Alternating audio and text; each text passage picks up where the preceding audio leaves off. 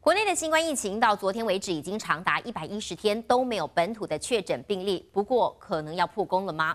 有这一名在中部从事离岸风电产业的外籍工程师，虽然他是没有症状的，不过因为最近要返回欧洲休假，依照规定要在台湾先进行筛检，没想到裁检出来发现他疑似感染了新冠肺炎，目前还有待指挥中心来进一步确认。不过指挥中心表示，他们不会对还是疑似的个案来做说明。台湾在防疫上半场交出了亮眼成绩，到七月三十一号为止，已经连续一百一十天本土个案加零。但如今难道是要破功了吗？传出有一名工程师疑似是感染了新冠肺炎。这名外籍工程师主要是在中部从事离岸风电工程，本身没有相关症状，但因为最近要回欧洲休假，他主动到医院筛检，没想到一采呈现入阳性，立即被通报到当地卫生局。目前疑似染疫的工程师也被收治在负压隔离病房，等待二采结果。病毒有很多个基因，所以我会验另外一个基因在不在。如果另外一个基因还是测得到，那大概就是阳性了，因为已经测到两个病毒的基因。根据了解，这名外籍工程师受聘于一家总部在欧洲的外商公司，今年五月初来到台湾工作。之前入境时也曾经接受过十四天的居家检疫，没有出现任何症状。而他在台湾的接触者，除了有同事跟朋友之外，因为平时都住在跟公司配合的合约饭店，加上在台期间还经常往返北部总公司跟西部海岸工地，更增加疫调困难。传出同事也接获需要居家隔离。十四天的通知。的是呼吸道的话呢，它似乎不应该存在两个月那么久，应该是在台湾得到的。可能在某一些地区，比如说中部那一带呢，可能有比较多的感染源。从日籍女大生到太极义工跟外籍工程师疑似确诊，专家强调，国内第一波疫情其实都还没结束。这名工程师是否会成为本土个案，就等指挥中心给答案。就问陈金顺听不懂。已故前总统李登辉辞世，享其寿九十八岁。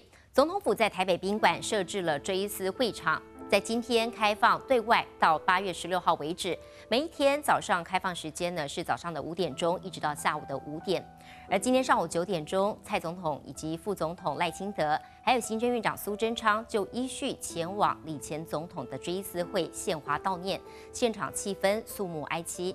蔡英文总统在会场外的追思墙写上了。民主台湾有您永恒眷顾的字条，而赖清德写着衷心感谢对台湾的贡献。苏贞昌则留言说：“请安心，请安息，感谢为台湾贡献，我们会继续打拼。”另外，前总统马英九、前副总统吴敦义也分别到追思会场致意。不过，一度传出会出席致哀的国民党荣誉主席连战则没有现身。献花致意，总统蔡英文肃穆哀伤，向故总统李登辉致上最深哀悼。蔡英文在会场外留下追思纸条，写下“民主台湾有您永恒眷顾”的字条，表达无限感念。总统，李前总统是不是确定葬在五指山军人公墓？蔡总统表情严肃，微微点头，也间接证实李登辉未来的长眠之地将在国军五指山军人公墓的特勋区。而除了蔡英文，副总统赖清德、行政院长苏贞昌也陆续到场。场致意。前总统马英九戴上墨镜、口罩现身会场。不过，马英九在追悼仪式后，并没有写下只字片语，就挥手离开台北宾馆。反倒是前副总统吴敦义有些感触：诗人感恩是一回事，我觉得他为国为民贡献至大。你要说人手都一口，那不可能。所以，只要多的国人肯定他，这就是在历史会留下。李登辉的追思会场庄严肃穆，没有过多的装饰，只用白玫瑰、白色蝴蝶兰作为点缀。追思会开放第一天，政界人士纷纷到场致意，但原本传出会到场的国民党荣誉主席连战，最后却没出席。台北宾馆从八月一号开始到十六号，每天上午十点到下午五点对外开放，让外界都能对李登辉表达缅怀之意。记者叶婷、李敏佳台北报道。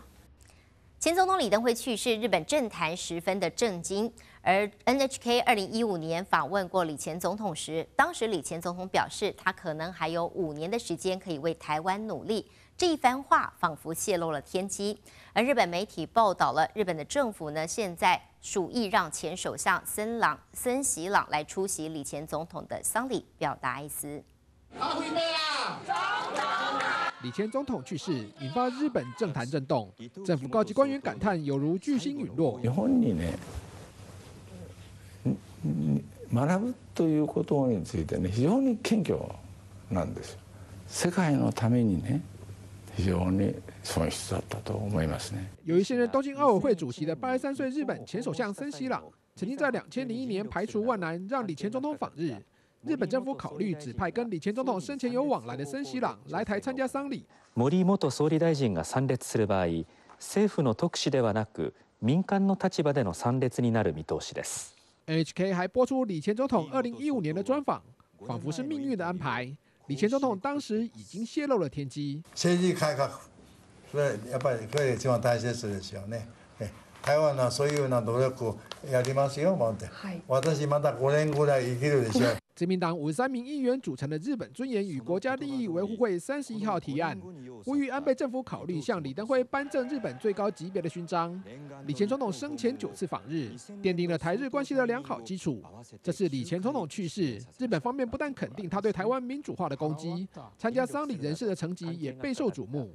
李下编译。 继续来聚焦到立法院爆出蓝绿立委集体贪污丑闻，不但无党籍立委赵正宇涉嫌阳明山土地的开发弊案，另外包含了国民党立委陈朝明、廖国栋、民进党立委陈唐山，还有前立委，也就是时代力量的现任主席徐永明，这五个人通通卷入了搜狗经营权的争夺战。检调调查前泰流公司负责人李恒龙呢，他是透过白手套来行贿这五位立委，来促进修正公司法，帮助他自己重新掌权搜狗，行贿金额将近四千万元。其中备受争议的立委苏振清呢，他一个人就收贿高达两千万。从昨天深夜到现在，涉案的六十三人陆续移送北检复讯，而李恒龙一早抵达地检署否认行贿，还辩称跟苏振清认识很久了，说这两千万只是借钱给他。自称只是受害者。